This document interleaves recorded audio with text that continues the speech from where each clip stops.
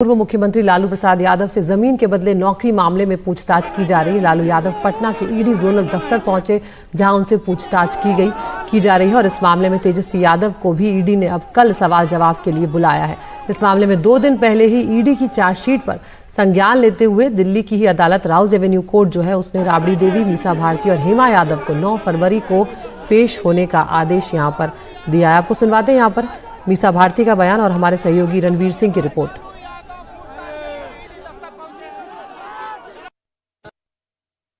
आप जिस तरह से देख रहे हैं कि कल सरकार गई है और आज उनको बुलाया गया है पूछताछ के लिए और पूरे देश के लोग और स्पेशली बिहार के लोग सब लोग जानते हैं कि लालू जी की तबीयत ठीक नहीं है, किडनी ट्रांसप्लांट हुआ है, बहुत सारी बीमारियों से ग्रसित हैं और सबसे बड़ा तो एज फैक्टर है, उनको उठने बैठने में भी प्रॉब्लम होती है, किसी की हेल्प की ज़रूरत होती है। आप सब लोग देख रहे हैं कि किस तरह से कल घटनाक्रम रहा और आज से ये एजेंसियों का स्टार्ट हो गया है तो इस पर कोई कमेंट नहीं लालू यादव अपने घर से करीब 11 बजे के आसपास निकले और यहाँ जो ईडी का दफ्तर है गांधी मैदान के पास, वहाँ पहुँचे। उनके साथ मीसा भारती भी थी और आरजेडी के तमाम कार्यकर्ता जो ईडी का जोनल अफसर ऑफ़िस है, वहाँ पर हैं। तो लगभग ढाई घंटे हो गए ईडी दफ्तर के अंदर लालू यादव को।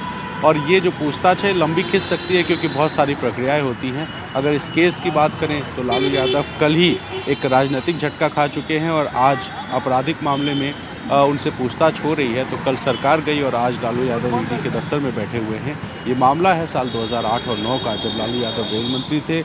आरोप लगा कि रेल मंत्री रहते हुए नौकरी देने के बदले ज़मीन ली गई और इस मामले में लालू ही नहीं, लालू के परिवार के सदस्यों पर भी आरोप है। तो उनके सदस्यों से भी पूछ, उनके घर के जो सदस्य उनसे भी पूछताछ होगी तेईस दिसंबर को।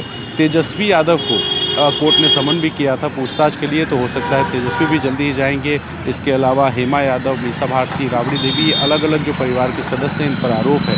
तो लालू यादव पहुँचे हैं और जब हम उनके घर पे मौजूद थे, वहाँ से जब लालू यादव निकले तो चेहरा बिल्कुल मुस्कुराता हुआ चेहरा था। वो दिखाने की कोशिश कर रहे थे कि वो इससे घबराए और परेशान नहीं है। लेकिन सच्चाई ये है कि कल एक राजनीतिक झटका लगा, जब आरजेडी सरकार से बाहर हो गई, गठबंधन टूट गया और भारतीय जनता पार्टी के साथ मिलकर नीतीश कुमार ने फिर से सरकार बना ली।